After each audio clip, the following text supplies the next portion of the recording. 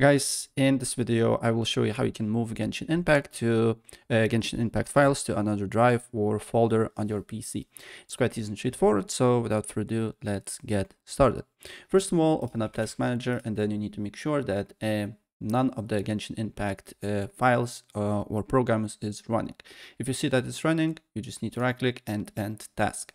And once you do that, then on search, you just need to write Genshin Impact uh, select the shortcut here, open file location, then again, right click on it and then open file location. And once you're here, then uh, go back on program files. Here, one folder uh, to the left, and then you should see a full Genshin Impact folder.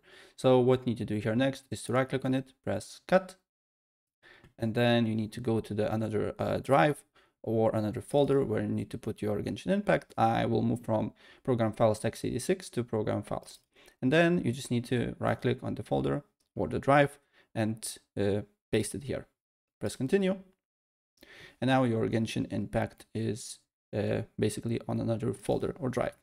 And then you just need to go with the launcher here and then you can play the game on another drive. So yeah, that's pretty much it. And if I help you out, please press like button and subscribe for more. Take care. Bye.